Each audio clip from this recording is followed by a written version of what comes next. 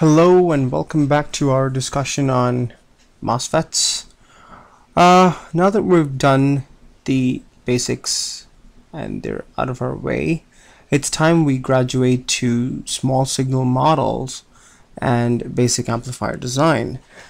Now, why we study small signal models is to see the, or rather the observed behavior of a MOSFET uh, when you apply small signals, you know, as against large ones. Um, you'll of course understand the difference between the two as we proceed through the course. For now, uh, let's look at what small signal models are. When we're looking at these, we're gonna be done. We're done with these diagrams. No more bulky, big, huge looking MOSFETs. Only sleek, these type of symbols, or small signal models. Let's first build a small signal model and see how it really looks. I'm, I'm sure a lot of you have already heard of it, um, but let's see how it's actually built. If you look at a MOSFET, what are the three main terminals that are present? One is gate, the other is source, and the other is drain. Now let's connect the three uh, to look like a circuit. Okay, let's say this has a terminal, and we gotta put connections here. The gate is it physically connected to the source? You'd say yes, it is connected through the oxide layer, but then the oxide layer doesn't support conduction, and anything that doesn't support conduction in a circuit is shown by an open circuit. It is, is just a plain open space. All right, but what we do have there in that gap is the voltage between the gate and the source. Okay, so that's the way. So the gate source side is taken care of in the uh, small signal model. Let's draw the drain source side. Now the drain source again don't have a physical connection, but when the conduction starts, yes they do. Their connection is the channel which has a current flowing through it from the drain to the source. The current, always remember, we're talking about the conventional current when we say when we say current. So it's going to be the conventional current flow from the drain to the source, but actually electrons are flowing from the source to the drain. Okay, that said, what is the value of this current? Remember transconductance we've seen?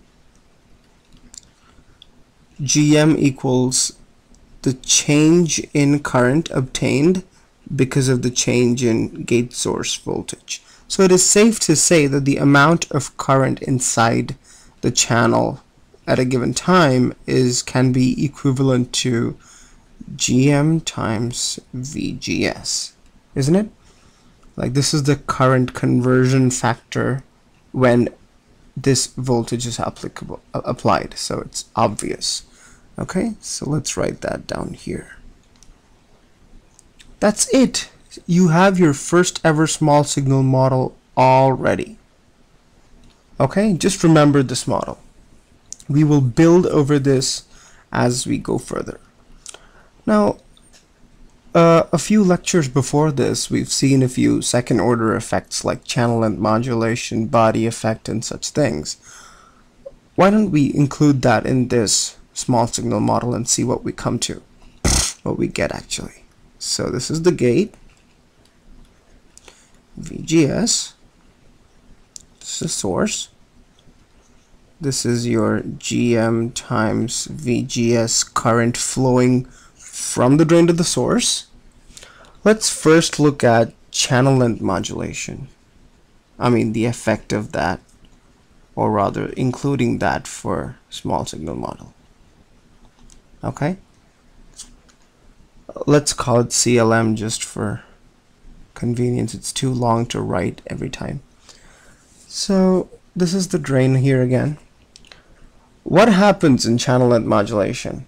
Because of the voltage um, applied from the drain to the source, between the drain and the source, the VDS, the variations in this voltage are gonna vary the channel length. That's why it's called channel length modulation. So if you have a channel length modulation, what's ultimately going to change? The current in the channel, correct? So we know that this, even this, is going to be a current source.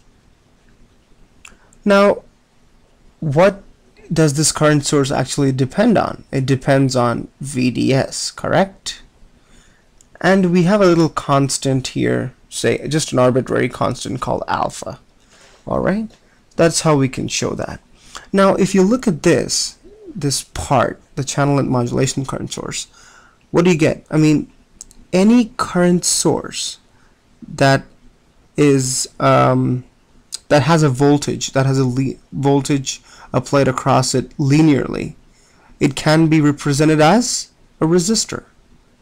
A resistor is nothing but a current source which has a linear relationship or is, is linearly across a voltage source.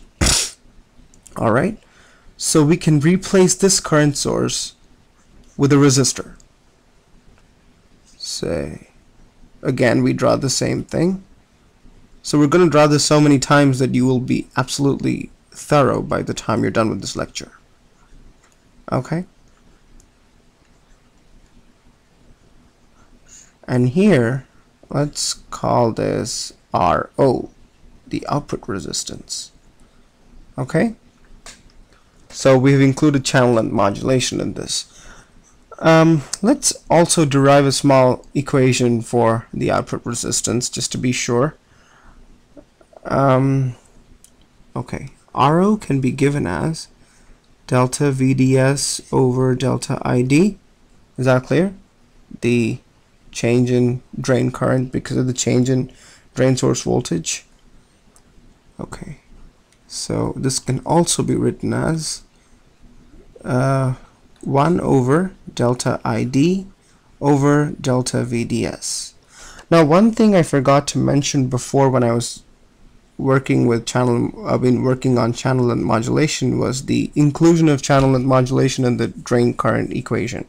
Drain current equation when you don't include channel length modulation is given by half mu n C ox W over L VGS minus VTH the whole square when the MOSFET is in saturation, right? When you include channel length modulation, what you're going to have is 1 plus lambda VDS. That's the only term that's going to get added. It's obvious. Now, if you work this out, what do you get? This is ID, all right? So ID plus lambda ID times VDS, correct? So this is the drain current that gets added because of the channel length modulation, all right? It's kind of obvious here but just remember that this term gets added when you were talking about channel length modulation. So we have to differentiate uh oh we have to differentiate this equation with respect to VDS to get RO right? So what do you get? This entire term is constant? And when you differentiate this you get just a 1 lambda. So delta ID over delta VDS is going to give you uh, the entire thing we can call this ID right? And the differentiation of this gives you lambda. So what do you get? RO is finally 1 over lambda times ID this is a very very very important very important thing in analog design the output resistance. Every amplifier design is going to need you to know this so just remember how we derived it. It's very simple. I, I, I urge you to work these equations out once you're done watching the lecture. It'll just help you retain whatever you learned better. Okay? So that's the output resistance. Give me one second. Let me change something here. Let me change the color. Alright. Okay, that's the output resistance. So we have uh, we finally have a small signal model that has taken into account the channel modulation. Let's look at body effect now. So when I'm drawing this, just maybe close your eyes and think how the diagram would be so that you know what's going on here. So the source, It's all the same, you see? All the starting steps are the same. So you know how to do these, right? And we have the channel length modulation here. This is the drain. Okay, now we have to take into consideration the body effect. What happens in the body effect? There is a voltage difference between the source and the bulk. Say this is the bulk. So we can call it VBS or VSB. Okay? So that's all body effect is, right? I mean, that there is a voltage difference between the source and the bulk. Now, just as when there's a difference between the gate and the source, I mean, there's a voltage difference between the gate and the source, you have a current flowing. Same way, if you have a voltage difference between the bulk and the source, you're going to have another current flowing. It's going to act like a second gate, that's all. Right? That is a very big clue to you to understand what the value of this current is going to be. So obviously it's going to have VBS term, right? What else is it going to have? It's going to have a transconductance, right? Because you're applying a voltage, you'd like to know what amount of that voltage is getting converted into the current. Go back to the transconductance lectures. But here, our transconductance is called GMB because it's with respect to the body we're talking about. All right. Uh, the derivation for GMB is slightly uh, hard right now. Uh, we will get back to it uh, once we, if, we come across a problem that needs uh, that needs us to solve for GMB. But all you need to know is this is how a small signal model looks when you include a normal MOSFET, a channel length modulation, a body effect. But don't forget to include this. Okay. So that's about it of, uh, on the small signal models. I hope you enjoyed and soon we'll be going into the amplifier design section. Great, thanks for having thanks for watching these videos. Thanks a lot. Bye bye.